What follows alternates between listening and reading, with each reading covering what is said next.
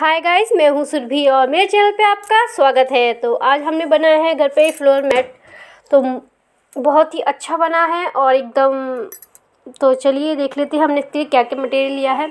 ये मेरे पास वेस्ट तौलिया है, तौलिया ली है मैंने और ये कैरी बैग तो जो हमारे घर पे आमतौर पर मिल जाएगा।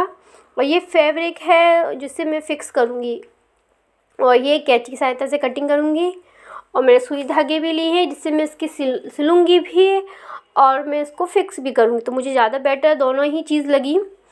तो इस तरह से मेरे पास ये टॉबल है। एक्चुअली कुछ निशान भी पड़ गए हैं तो ये मेरे को अच्छी नहीं लग रही थी। तो इसका मैंने सोचा फ्रो मैट बनाया जाए और ये है कैरी बैग तो कैरी बैग को मैंने थोड़ा सी साइड से था, उसको मैंने कटिंग कर ली है।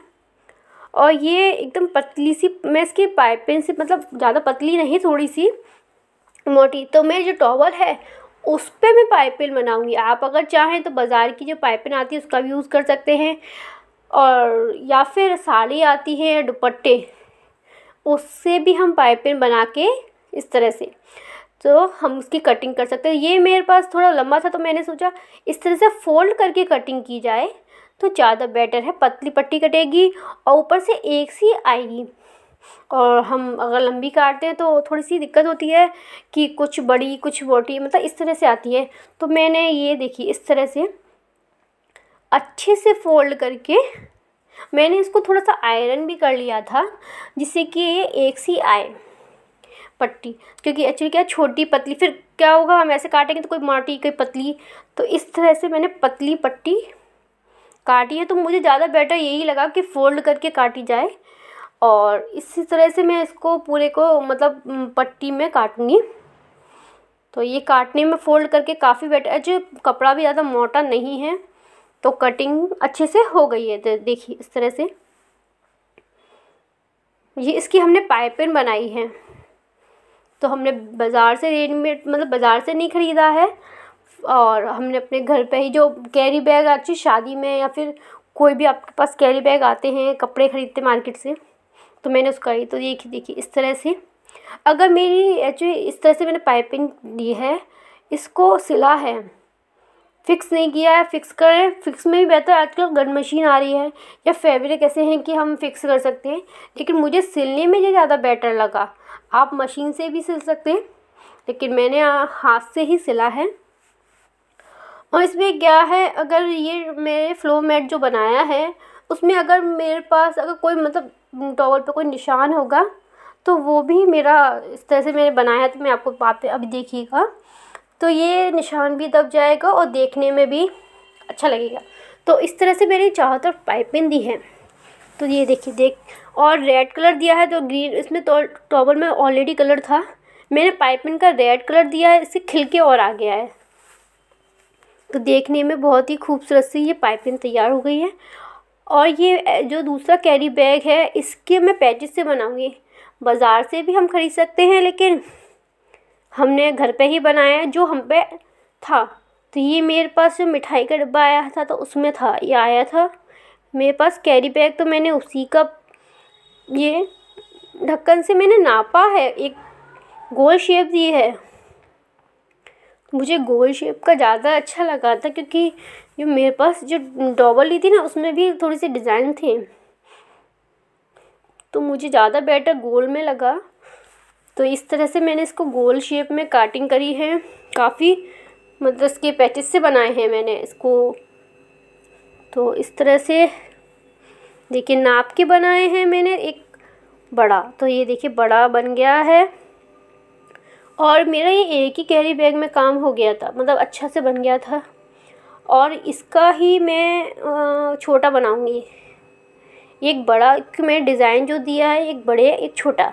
ये कलर एक्चुअली कैरी बैग जो था, खिलता हुआ कलर था तो मुझे ज़्यादा बेटर ये अच्छा लगा कि मेरे जो टॉबल है, वो फ्लो मैट जो बनेगा मेरा, वो उस पर जो पैचेस लगाऊँगे, वो खिल के आएँगे, वो अच्छे लगेंगे। तो इस तरह से मैंने एक को बड़े शेप दी है, एक को छोटा, गोल कटिंग करी है। तो ये देखिए, ये बड़ा है और ये छोटा। तो मैं इसको भी काट लूँगी। तो गोल गोल शेप में तो अच्छा लगेगा देखने में। और ये कलर भी अच्छा लग रहा था रेड और ये देखिए कलर खिल के आएगा तो मैंने इसको गोल शेप में इस तरह से, ये देखिए, ये कुछ इस तरह से मैंने रेड क्लिप काटे हैं, बड़े। और ये मैंने गोल के काट लिए हैं। पहले से मैंने काट के रख लिए थे ये। तो ये देखिए, इस तरह से कटिंग करके इसके ही हम पैचेस बनाएँगे। मतलब आप बाज़ार से भी ख़रीद सकते लेकिन ज़्यादा अच्छा लगा। हमने अपने घर पे ही बनाया और जो सामान था उससे ही बनाया। तो ये देखिए, बिल्कुल हम इसको अब डिज़ाइन देंगे। इस तरह से मैंने इसको थोड़ा सा डिज़ाइन दिया है। और ये कलर जो दिया है वो ऑब्वियसली खिल के ही आया है, देखिए इस तरह से। टॉप तो मैंने एक बड़ा और एक छोटा रेड कलर का बड़ा दिया है और ऊपर से छोटा। ये फैब्रिक मुझे अच्छा लगा। एक्चुअली ये से कपड़े चिपकाने का फैब्रिक है। काफ़ी अच्छा है इससे फिक्स अच्छे से हो जाता है। और इससे बेटर मुझे क्या लगा कि इसमें क्या होता है? ये मतलब निशान नहीं पड़ते, जैसे कि फेविकॉल गम अगर ये लगा है ना, अब ये गीला है तो आपको ये दिख रहा है कि इसमें लगाया है।